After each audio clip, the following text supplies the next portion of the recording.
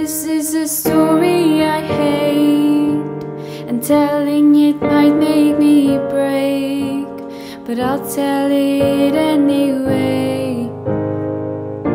This chapter's about how you said there was nobody else. Then you got up and went to her house. You guys always left me out. Letters you wrote when you told me that I was the only girl you'd ever want in your life. I guess my friends were right.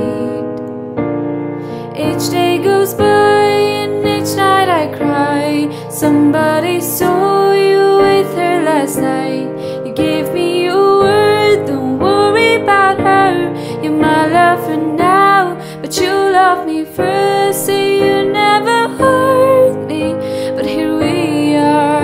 you swore.